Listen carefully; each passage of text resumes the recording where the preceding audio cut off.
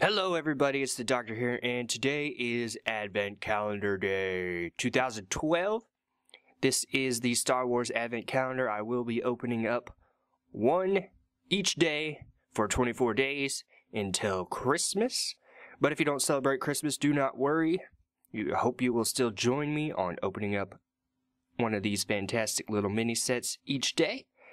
And let's go ahead and get into day one. As you can see, the flap here opens up. It's upside down. Flip it over. And you have this nice little scene down here. It's like a little lake.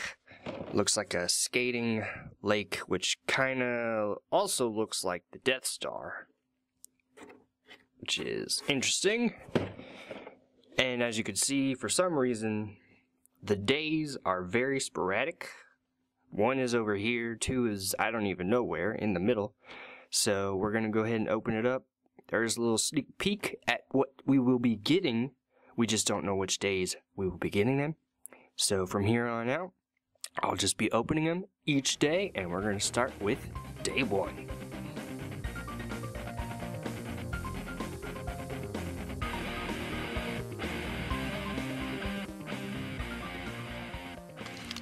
So in the first little day one, we got a little mini poster of exactly the advent calendar we just opened.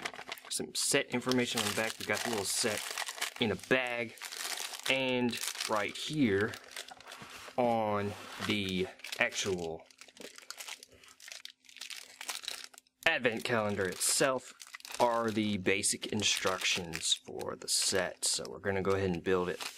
It looks like the tiny version of the Naboo water underwater ship. So let's go ahead and build it.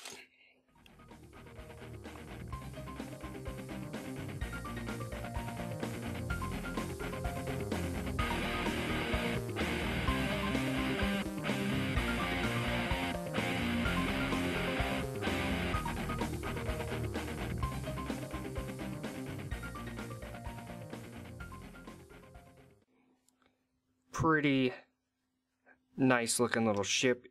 It's not as detailed as many of the other ships that we get, but it is a nice little micro representation of the ship. We do get a few extra pieces. Uh, one thing I do notice about these little micro sets is that the instructions are very, very vague. So if you have trouble putting together Lego sets, you're not experienced, you may want a little help trying to figure this out because there's basically only two steps and you have to figure out where everything else goes. But if you take a look at all your pieces beforehand and build it, you should be able to do it. So from here on out, we'll just be going through each day. Won't be too much explanation on the other videos. We'll just be going through day two and so forth.